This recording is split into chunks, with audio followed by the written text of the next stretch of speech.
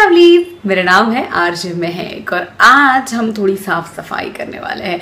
और वो साफ़ सफ़ाई होगी मेकअप ब्रशेस की। मेकअप में यूज़ होने वाले टूल्स की और मेकअप की। सबसे पहले स्टार्ट करते हैं मेकअप ब्रशेस से। एक बोल में वही टैप वाटर ही है और मैं इसमें पतंजलि हैंड वॉश थोड़ा सा डाल रही हूँ। आप इसमें डिश वॉशिंग लिक्विड भी डाल सकते हैं। इसमें हैंड सोप भी डाल सकते हैं।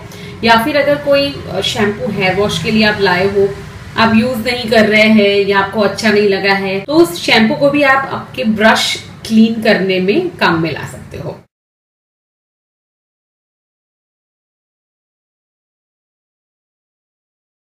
पूरा येलो हो गया है। पानी तो सारी जो प्रोडक्ट्स है वो बाहर आ गई है।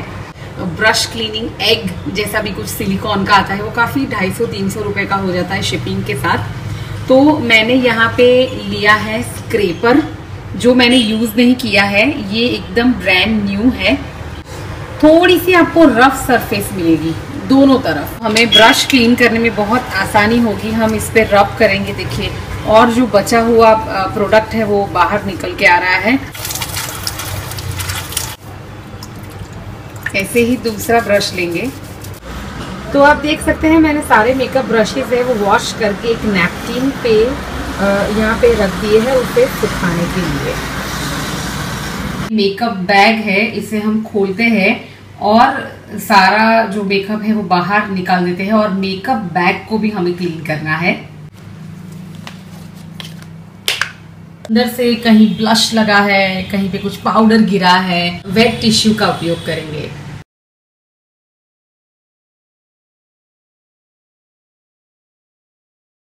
आउटर बॉडी है, उसे भी क्लीन करेंगे, उसी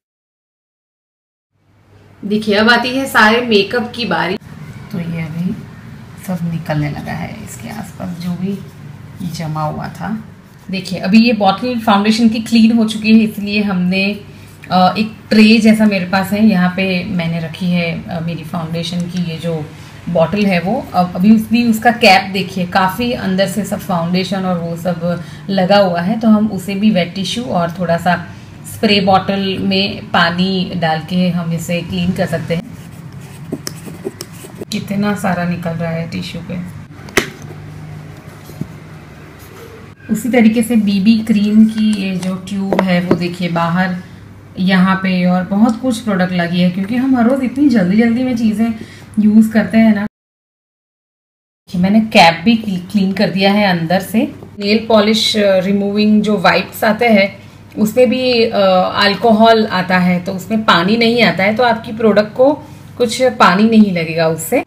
कॉटन बर्ड्स ले सकते हैं।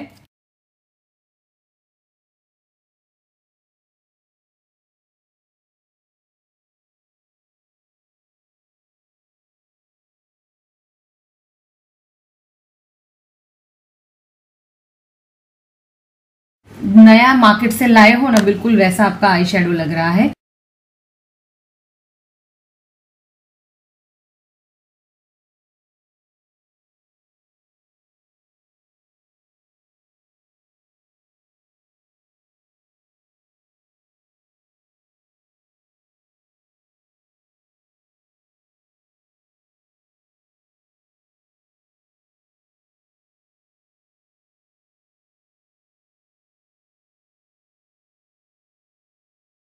चलिए अब लूज पाउडर की बारी आती है।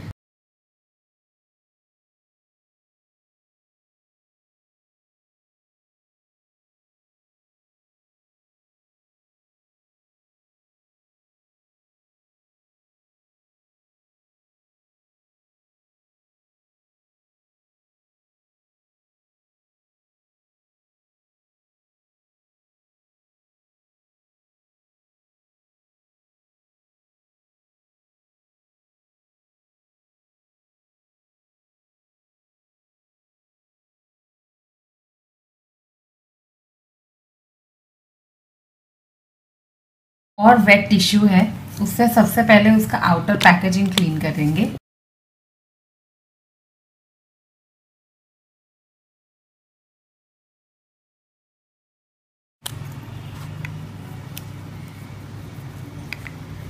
यहाँ पे भी कुछ लिपस्टिक लगी थी। बुलेट को हम कुछ नहीं करेंगे फ़िलहाल। काफ़ी कुछ लगा हुआ है तो हम बुलेट को अंदर हो सके उतना ले लेंगे। और साइड्स क्लीन कर देंगे। उसका कैप है, उसको भी हम क्लीन करेंगे।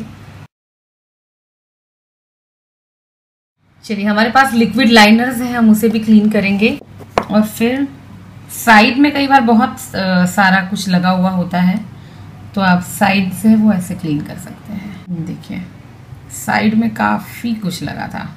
देखिए, इतना एकदम से चमक रहे हैं। अब हम हमारे पास जो काजल है, पेंसिल, उसे भी क्लीन करेंगे। क्लीन हो गई। कई बार बहुत कुछ लगा हुआ होता है तो आप जो नेल पॉलिश रिमूवर पैड्स होते हैं, उससे क्लीन कर दीजिए। देखिए, कुछ मेरे हाथों में भी लगी है, काजल और वो सब। हम जो क्यू टिप है थोड़ा सा जो लिक्विड लगा हुआ है ना, हम ले लेंगे इस पैड से ईयरबड पे।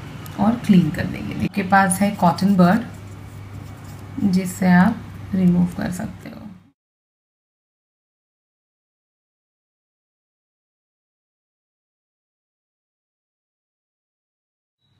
और मस्कारा को भी हम क्लीन कर देंगे, उसको खोलेंगे, उसके भी जो साइड्स हैं वो हम क्लीन करेंगे। तो आई होप कि मेरा ये वीडियो और कुछ टिप्स है, वो आपको यूजफुल रही होगी। मुझे कमेंट सेक्शन में लिख भेजिएगा, आपको मेरा वीडियो अच्छा लगा हो तो मेरी चैनल को लाइक कीजिएगा सब्सक्राइब कीजिएगा, और thanks for watching my video bye bye